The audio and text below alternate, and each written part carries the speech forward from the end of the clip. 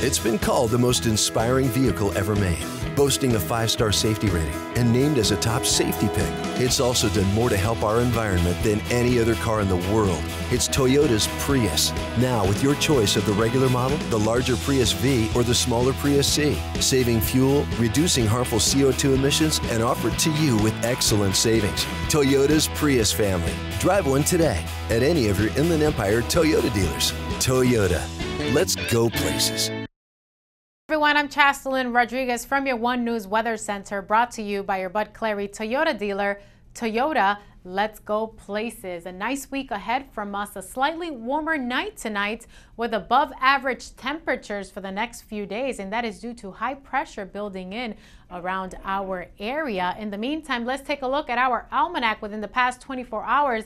The high 69 degrees, not as warm as that record high of 89 degrees in 1957, and the low 37 below the average for this time of year should be around 41 degrees. Sun setting at 8:07 p.m. and for Moses Lake the high 70 degrees and the low 8 degrees below the average for this time of year. Sun setting at 8:06 p.m. and right now outside your door current temperature 69 degrees clear skies and that dew point around 31 and those winds coming in from the east southeast around 8 miles per hour We're expecting a calm night warmer than last night a little bit of cloud cover on Tuesday into Wednesday from the coastal area, but that should not impact us at all. They may receive a few scattered showers, but overall, we're expecting dry conditions throughout the week, and that is due to high pressure building in around our area. We might get some a few cloud cover on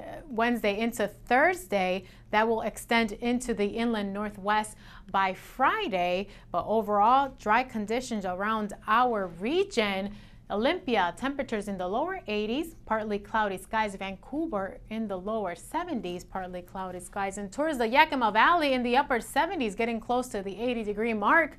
Towards the inland northwest mostly clear skies. Temperatures variable from the Tri-Cities in the upper 70s, and then we have the lower 70s. And towards our Columbia Basin, temperatures from the mid 70s to the upper 70s, Ephrata 79, partly cloudy skies, Moses Lake, mostly sunny skies at 78, and Royal City 79.